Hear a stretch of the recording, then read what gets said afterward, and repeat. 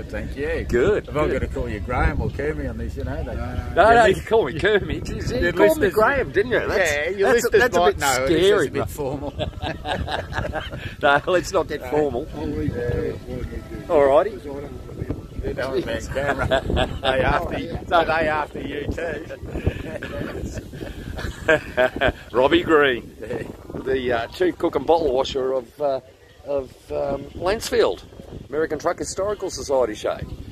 Well, I wouldn't say I'm the chief cook and bottle washer. I'm certainly a, a local here, and uh, yeah, the But you, you you kicked it off here, and you've kept Oh, it here well, over gee, how many years now? 15, I think it is, Graham, Yeah. and uh, the committee have done a fantastic job. And hats off to Scott Huff this year and Jen. They've done a great job here, and Yeah, yeah. He's only been in the seat for a year or so, Scotty, hasn't he? he certainly has. And I've had I've had my issues with the local matter here, and had to take a back seat for a bit. And uh, you know, Terry and Marg come up from Gippsland, and this is just an absolute amazing commitment. And great to see Murray Langford here from Mount Gambier last night roll in. It was just a pleasure. Oh. Murray's here. Terrific.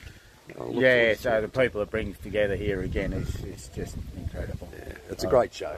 I remember one of the earliest shows, and I uh, met a character called Lizard, who we all know, and uh, he said, "I've just came down and caught the plane," and he said, "I'm Lizard from Humpty Doo," and having him here today is just it's just special, isn't it? Oh, You know? geez, I might duck and weave and get the hell out now.